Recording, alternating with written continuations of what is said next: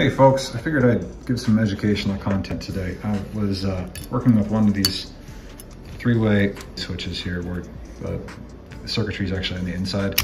These are kind of tough to deal with if you've never worked with one before because you can't see the wiring schematic. So I figured I'd just take one apart and explain it. So I want to get ahead of this. You'll see neck, bridge, bridge, neck, and that's because this is this is backwards, right? This works as, as a casing, okay? So when this is together, um, this all makes proper contact, but when you put, split it apart, it's backwards, okay? So when I have the switch in neck position, I'm actually making contact with, um, we're, we're talking about pickups that are wired on this side because we're gonna be talking about this contact plate, which actually makes contact over here and vice versa. Here's center position and then bridge position, okay? So we'll start with neck. The way this works is that these contacts rotate. These act as jumpers.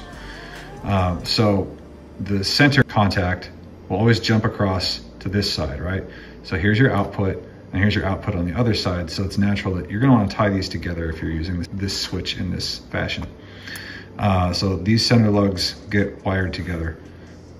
Now, so when I'm in neck position, this contact is making contact with here. So that is where, right here, is where your neck pickup gets wired into.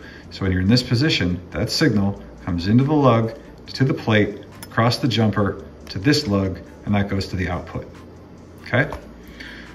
When you're in the middle position, you've got contacts being jumped from this side to this side and from this side to this side. So naturally, we wanna pick up both the neck and the bridge pickup here. And the way that's gonna happen is, again, see your neck pickup is being wired into here, but your jumper's in the middle position. Well, how do we fix that? You jump it across over here.